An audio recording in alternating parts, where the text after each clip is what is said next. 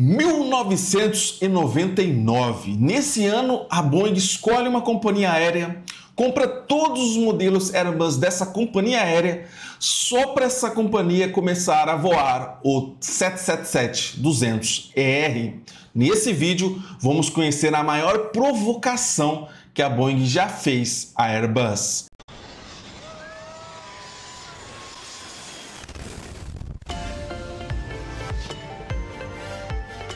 Me chamo Gidio Mota, um engenheiro civil apaixonado por engenharia aeronáutica. Na década de 90, a Boeing começa a fabricar o 777, primeiro com a versão 200 e depois com a versão de longo alcance, ou alcance estendido, a versão 200 ER. E como todo fabricante, não somente na aviação, mas em qualquer área, a Boeing foi à procura de clientes para o seu novo produto e viu na Singapore Airlines um cliente com grande potencial. Mas tínhamos um problema. A Singapore Airlines já tinha um avião que cumpria bem essa função que o 777 cumpriria na empresa, que era o Airbus A340. E em segredo, em 1995, a Boeing firma secretamente um acordo com a Singapore Airlines quando a Boeing compraria todos os A340-300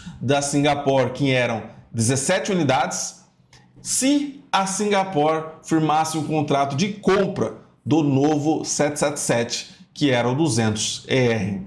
E o acordo foi firmado, mas só veio a público em 1999, durante o Paris Air Show daquele ano.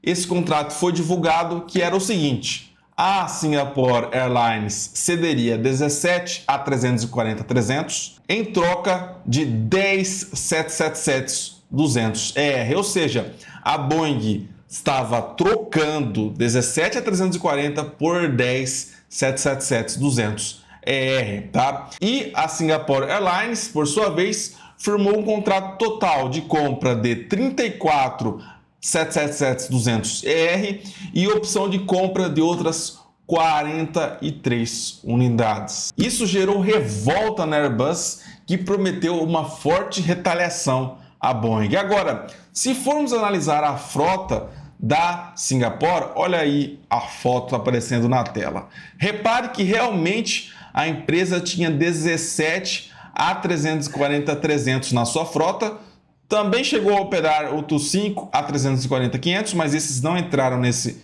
negócio firmado com a Boeing, tá?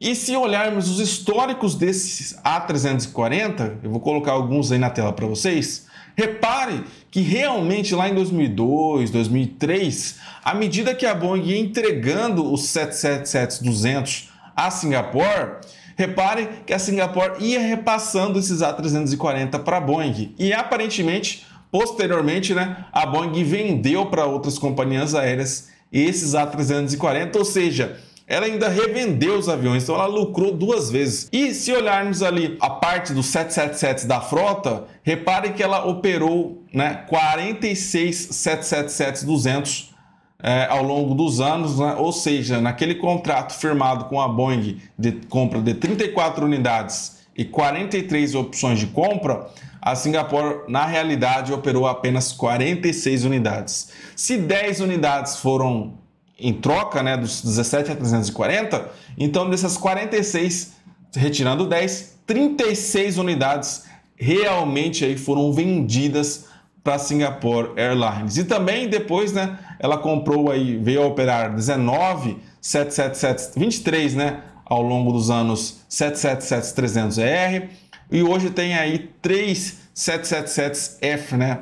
Versão cargueira aí do 777. Ou seja, no fim das contas, a Boeing saiu no lucro, né? Retirou o modelo concorrente na época do 777 da frota da Singapore e ainda conseguiu vender 46 unidades, sendo que dessas em 36 ela lucrou, né?